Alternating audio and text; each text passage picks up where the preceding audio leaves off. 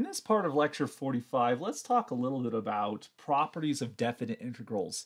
And some of these properties you're going to have seen before, um, so some of them are going to look pretty familiar. Uh, but let, us talk about them for a second. So some properties of, of definite integral. The first one, um, let's consider the integral of the function f of x dx. And what happens if we go from a to a? That is the starting and stopping number of the of the domain is the same number. So think about that for a second. We have some function f right here. Uh, we have our x-axis, maybe that's somewhere below. And we take this number a and a, right? We're looking for the area under the curve from a to a. Well, that's just going to be a sliver. It's just a line segment. What's the area of a line segment? Well, it's nothing, right? There is no area to a line segment, and hence you get an area of zero. So if you integrate from a number to itself, the area under the curve is always going to be zero, independent of whatever the function is. All right. Now, um, here's another one. This one's kind of interesting. We actually use this one all the time, surprisingly.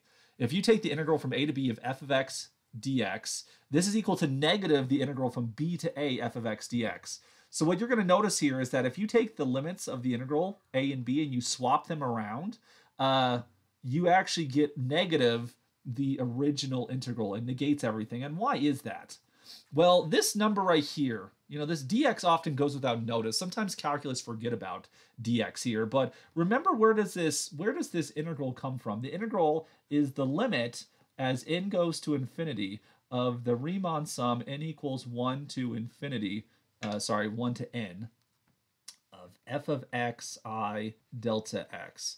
So the idea here is I want you to see the similarity between the integral notation and this Riemann sum. You have this big sigma here. What does sigma mean? Sigma means sum. Uh, sigma is the Greek letter for s. So s is for sum. When you look at the integral right here, what does this integral symbol look like? It looks like a big S. What is S for? S is for sum.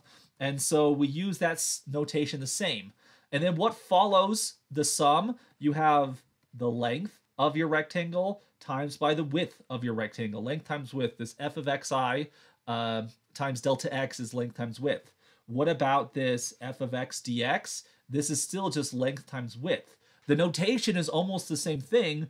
The only thing that's missing is that this limit, as the number of rectangles goes to infinity, this is concealed inside of this definite integral notation. That's why we use the long s as opposed to the sigma to represent the limit being taken. But even still, it always breaks down as length and width.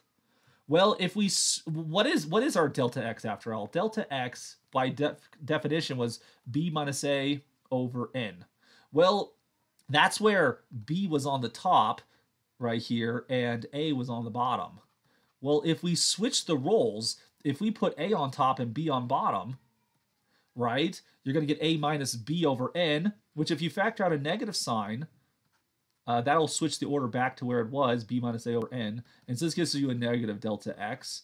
And so as you take the limit, as n goes to infinity, uh, as n goes to infinity there, sorry, delta x is going to converge towards uh, dx here. And so that's that's the idea here is if you switch the orders, um, the delta x gets swapped around, and then the subsequent dx will also gain this negative sign as well. So if you integrate backwards, you will get negative the area of the original reason of the original region. Okay, and like I said, that's a trick that we actually do use on occasion here. Uh, these next two properties you hopefully might recognize. If not, it's not, not such a big deal here. But look at property three and property four. Uh, this tells us, property three, that if there's a scalar inside of the integral, you can factor it out and you get a scalar on the outside. Um, on the other, this one right here says if you add together two functions inside the integral, this is the same as adding together the integrals separately or taking the difference of those. If we put these two principles together, this one right here and this one right here, these two powers come together to give us linearity. That is, the definite integral is a linear operation. So is the indefinite integral, antiderivatives, sigma, limits, derivatives. There's so many linear operations in in calculus, right? Uh, and so people who want to kind of explore this much deeper, I actually recommend to uh, take a course on linear algebra, which explores this idea of linearity that seems to pop up over and over and over and over again in calculus. Calculus is sort of based upon the premise that we can solve linear problems and we can approximate nonlinear problems using linear problems. Um, this idea of area under the curve is exactly the same idea. We have some type of nonlinear curve, but we can approximate it using these linear approximations, which are rectangles, these polygons, right? We can approximate the area under the curve using a linear approximation, take limits to get the correct value. So linear algebra is actually really important to calculus students. I recommend you look into it in the future. Um, this last property I want to mention uh, this one also is somewhat intuitive here. If you take the integral from a to b of f of x dx, this is the same thing as the integral of a to c of f of x dx plus c to b f of x dx. So providing a picture of what's going on here, here's our function f. Uh, here is our value, our domain a to b. And so we want to find the area under this curve from a to b right here. Well, this idea just says the following. If we're going to cut this into two pieces at some intermediate value c, then the area from A to C plus the area from C to B gives you the area from A to B. You can add those things together. Uh, but I also want to mention that this also applies that even if C is not between A and B, that's perfectly fine uh, because of this property right here. If you integrate backwards, um, you'll you'll double count this area. You'll count it once and then subtract it. So it, the cancel in the end will be the same. And so I want to show you an example how we can use uh, these principles in our integral calculations. So let's calculate the integral from 0 to 1 of 4 plus 3x squared dx. Well, by properties of integration, we can break this up into two integrals. You integrate from 0 to 1 of 4 dx plus the integral from 0 to 1 of 3x squared dx. Uh, that is, integral of a sum is a sum of integrals.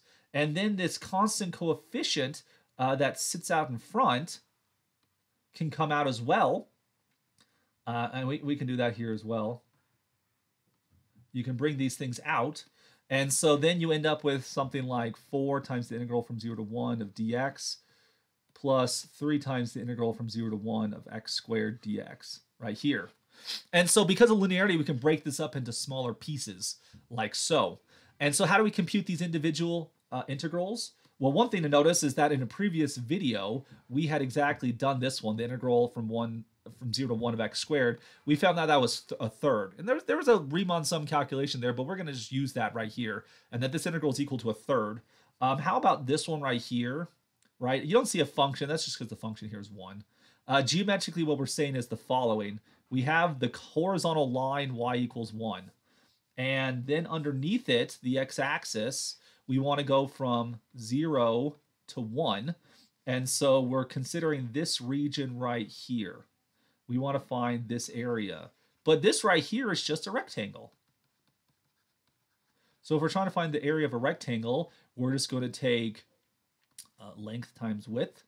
Uh, the length here is a 1.